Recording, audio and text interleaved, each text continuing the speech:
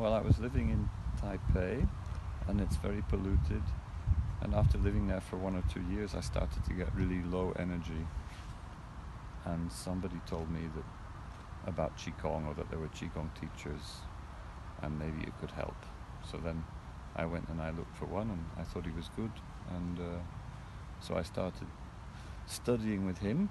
Then after some time, my energy slowly, slowly got much more, much better and stronger. And after some months, I was kind of back to normal. Mm.